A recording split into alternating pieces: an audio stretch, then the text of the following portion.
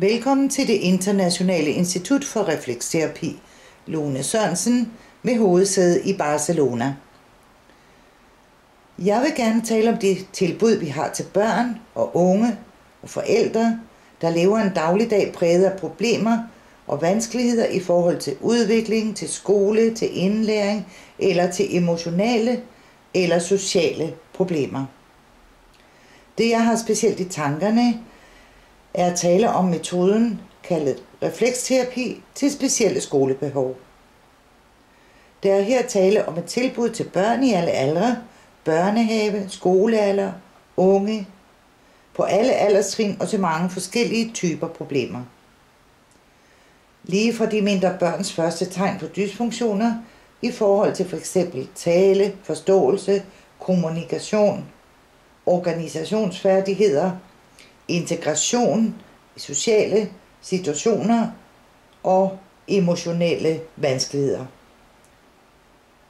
Samt til de lidt større børn, der er begyndt i skolen de første år, øh, hvor der allerede viser sig mm, konkrete problemer, måske allerede udredt af professionelle i skole- eller sundhedssystemet.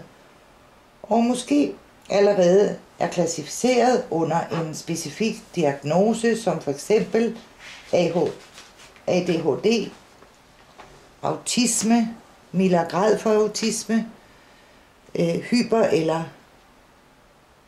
hypersensitivitet, hyperaktivitet eller det modsatte, ordblindhed af forskellige typer, ja, sågar vandladningsproblemer, men også til børn, der har en lidt lettere type vanskeligheder, øh, som indlæringsproblemer relateret til at læse, regne og skrive.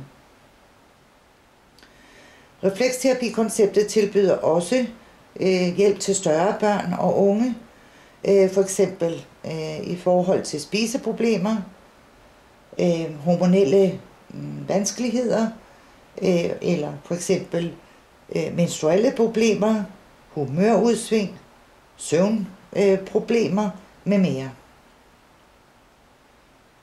Med denne terapeutiske metode har vi også øh, et tilbud om hjælp i forbindelse med mobbing-situationer.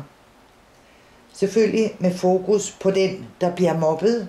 Meget ofte et meget traumatisk spørgsmål, som kan øh, give problemer resten af livet. Men også til den, der mobber, der i bund og grund at den vigtigste at behandle i det, der faktisk ligger et opførsels øh, dysfunktion til grunde for at have behov for at mobbe et andet menneske. Refleksterapi til specielle skolebehov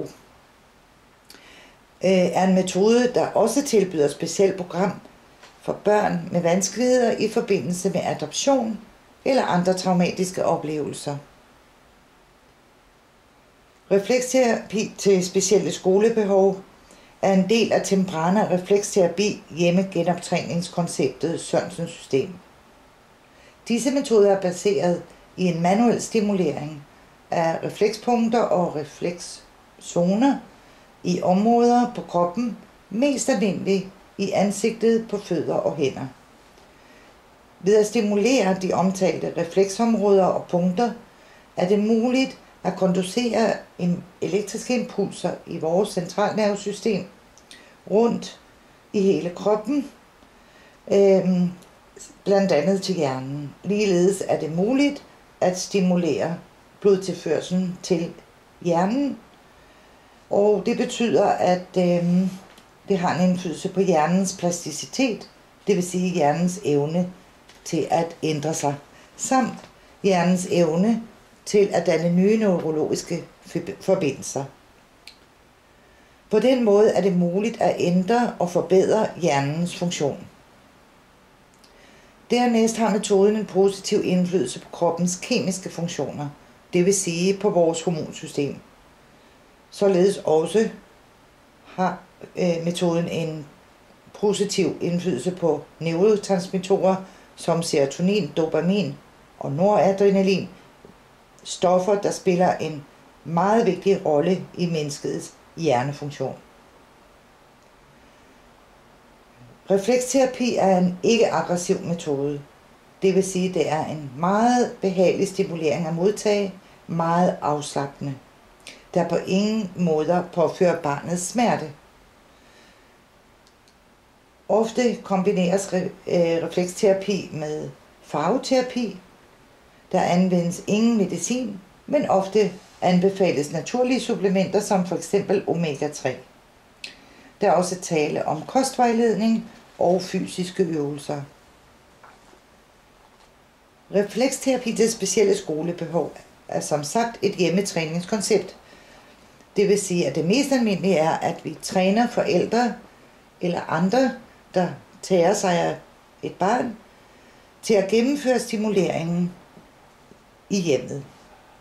Mest almindeligt 3-4 gange om ugen, men det er selvfølgelig efter den enkeltes behov. Det tager ca. 30-35 minutter per gang at udføre stimuleringen. Der kan være tale om en periode fra 6 til 18 måneder, mm, alt efter graden af det enkelte barns problem. I den samme periode er det nødvendigt, at barnet tilses af den specialiserede refleksterapeut, som har undervist den enkelte familie hver tredje måned for justering og opfølgning. Før et kursus kan påbegyndes, skal barnet vurderes hos den specialiserede refleksterapeut med henblik på at udarbejde øh, en personaliseret øh, protokol. Kurset foregår ofte som gruppekurser eller som individuel familiekursus. Det er også muligt, at en specialiseret terapeut behandler et barn med specielle behov i egen klinik. Især hvis der er tale om en situation, hvor det ikke er muligt at etablere hjemmestimulering.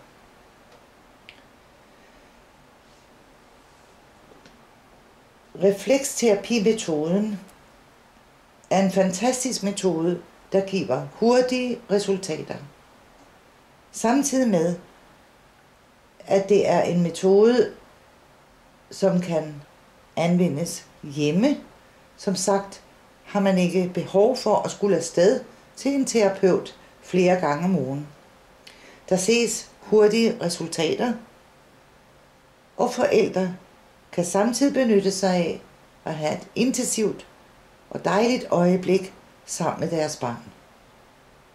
Er du interesseret i mere information om refleksterapi til specielle behov, er du meget velkommen til at kontakte det internationale institut i Barcelona eller vores lokale afdeling ved Anne Dorte Væver i Danmark. Vil du give dit barn en naturlig chance, er vejen frem refleksterapi Sørensens system.